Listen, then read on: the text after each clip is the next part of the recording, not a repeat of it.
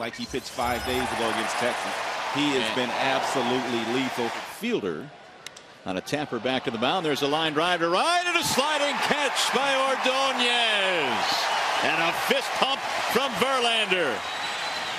Swung on and missed. He got him. The 0-1. Bouncing ball right side. Casey backs up, makes the play. He'll flip to Justin, one gone. Ground ball hit to short. Perez stumbles, has it, flips the second one. Relay! Got him! What a play! Oh my goodness, what a play! Swung out and missed. Oh man! One away. The 0-2 pitch. Got him. The 0-2. High fly ball, right field. Ordonez backing up. He is there. No hitter for Justin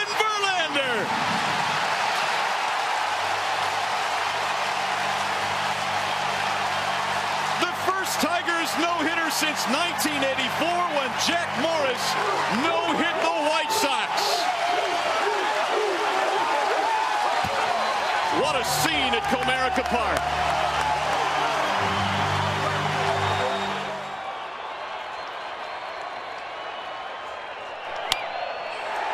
This is going to do it.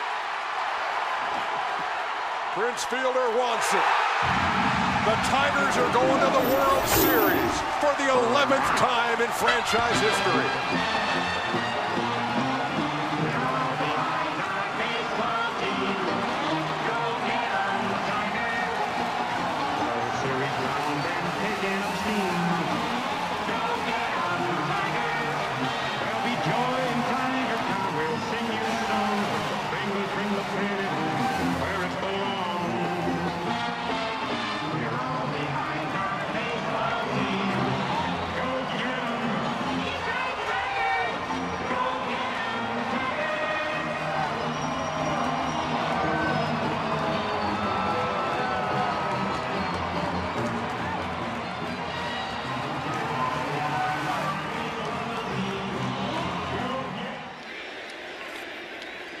And the 1-1 pitch. Ground ball to short. Peralta has it. Fires to second one. Relay. Got him a double play. 6-4-3. Inning is over. Verlander has faced the minimum through eight. Let's go to the ninth. David Cooper, the first man to face him here in the ninth inning. And he popped him up on the infield. Sizemore taking charge. One pitch, one out. The 1-1 pitch. Ground ball towards second base. Sizemore. Two gone. Here's the 2-2 pitch on the way. Swing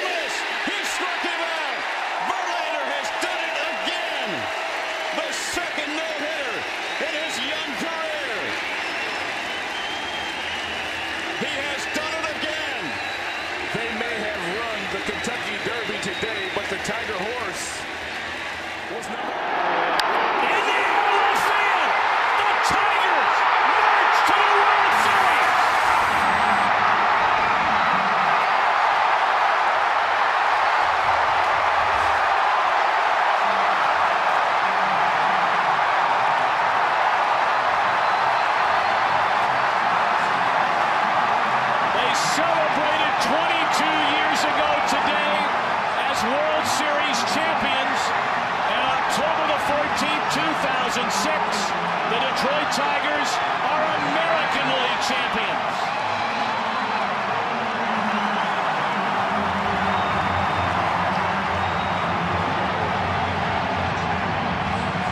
Magglio Ordonez, a three-run home run to win the pennant. His threat, stay back, right through the zone extension, and let it fly and take a look at it. No doubt about it. From the crack of the bat, this ball game was over. And what clutch hitting!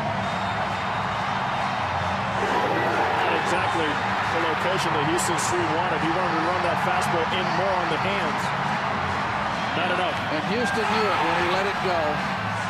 As soon as it left the bat, and look at Leyland. Look at the Tigers. What a great scene here at Comerica Park in Detroit. What a wonderful, wonderful story. The Detroit Tigers, American League champions. Who would have thought, Thom Brennaman, starting the season, that we would be here seeing this in this wonderful city of Detroit.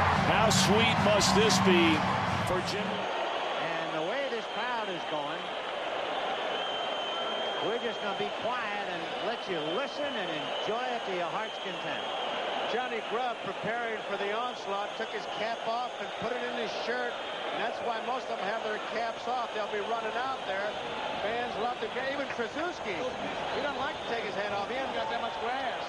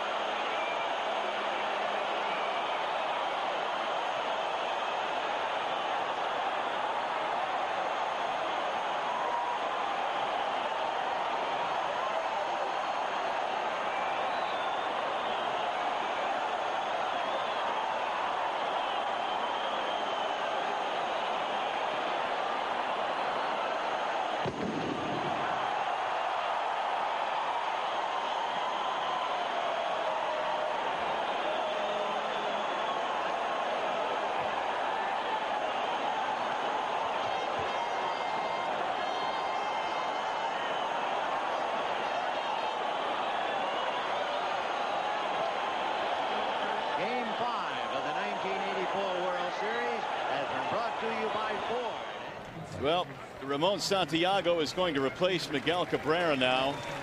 And let's listen to the standing ovation for Miguel Cabrera as he walks off the field. How about this?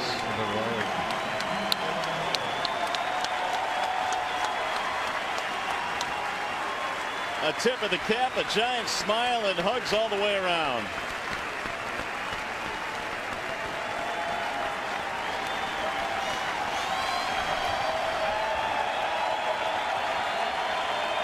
A standing ovation for Miguel Cabrera, and his teammates are there to greet him.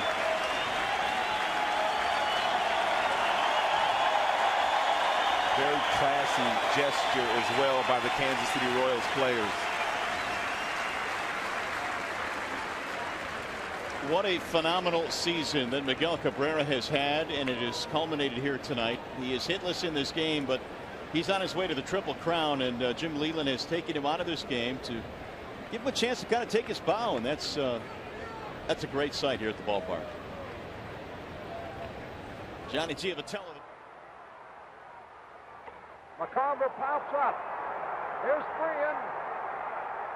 Detroit's the new world champion. And look at Freehan picking up Lolich. and there is a scene that has been repeated many times in World Series history. It's a happy bunch of Tigers. They have beaten the Cardinals 4 to 1, and they have replaced them as the champions of baseball. And they made some comeback. They were trailing three games to one. They were behind three runs in the first inning of game five. They came back to win. They walked in here and murdered the Cardinals yesterday. They win again today, and 28-year-old Mickey Lolich now has joined Christy Mathewson, Jack Coombs, Babe Adams, Stan Coveleski, Harry Brecheen, Lew Burdette, and Bob Gibson as pitchers who have won three games and lost none in a World Series. And Lolich did it with two days rest and beat This is the big day for the maestro Denny McLain. Saturday afternoon at Tiger Stadium, September the 14th. 1968, and Denny will be going for win number 30. Uh, the count on Horton is now two balls and two strikes. And Campaneris comes in from short. Stops with his pitcher, Diego Segui. Here's the set by Segui, the pitch. Swung on, a drive to left. That'll be the ball game. It's over the head of Gosger. McLain wins his 30th. Here comes Stanley in the score. Willie Horton has a single, and the ball game is over, and the Tigers win it five to four. Denny McLain is one of the first out of the dugout, racing out, and Horton is mobbed as the Tigers come from behind, and McLain has his 30th victory of the 1968 season. Well, Denny McLain has achieved something that has not been done in a long, long time, as Willie Horton, who singles in Mickey Stanley from third base, and Denny cops his 30th win of the year, the first Major League hurler to win 30 games since Dizzy Dean did it, September the 30th, 1934. The first American League pitcher to win 30 since Lefty Grove did it, September the 18th, 1931. And he's the first Tiger 30-game winner ever.